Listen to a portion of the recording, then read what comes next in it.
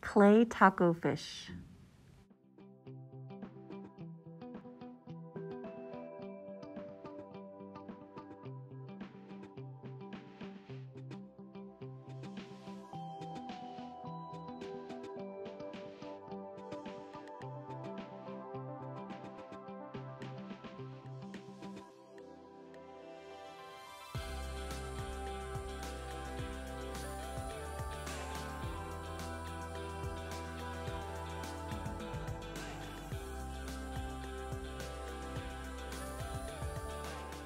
Roll your clay into two balls.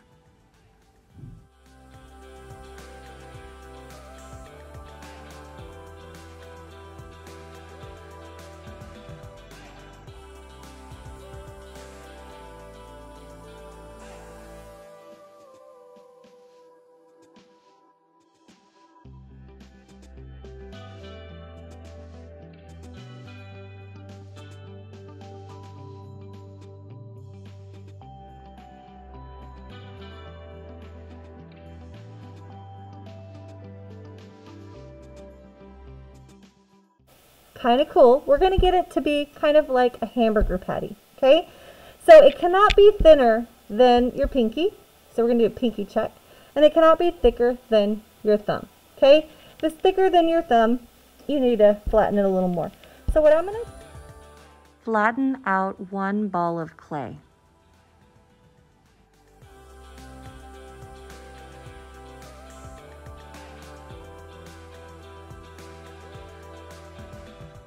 Do is I'm going to take my ball and I'm just going to pat it down because I want it to kind of be like a hamburger.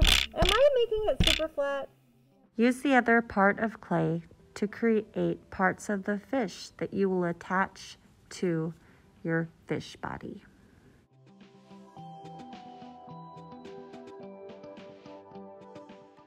You have to slip and score for clay to stick together.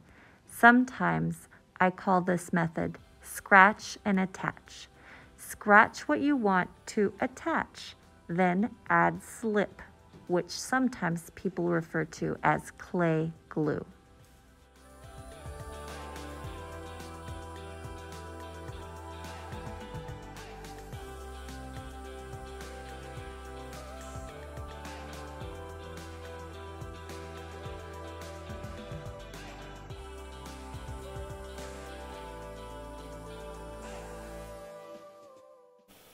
Tape. That's one way. Glue. Glue. So we have this stuff called slip, and it's like clay glue, and all it is is water mixed with glue. Thumbs up if you understand. Awesome. So I'm going to take my glue, and I'm going to rub it along the edges. I really like the way you guys are paying attention. Give yourself a pat on the back. And what's going to happen with this, right now you're interrupting me, you're listening, and you're going to take it and you're going to fold it into a Taco. Taco. Okay, so this is just going to be the body of our fish. Do you guys see that? I like the way Allie said that. She said, is that going to be a fin? Well, you could pinch it, but no thinner than your, no thinner than your pinky. Do you guys see that? Yeah. Okay, I'm going to close the back half because that's going to be the back of the fish. And I'm going to leave this fish.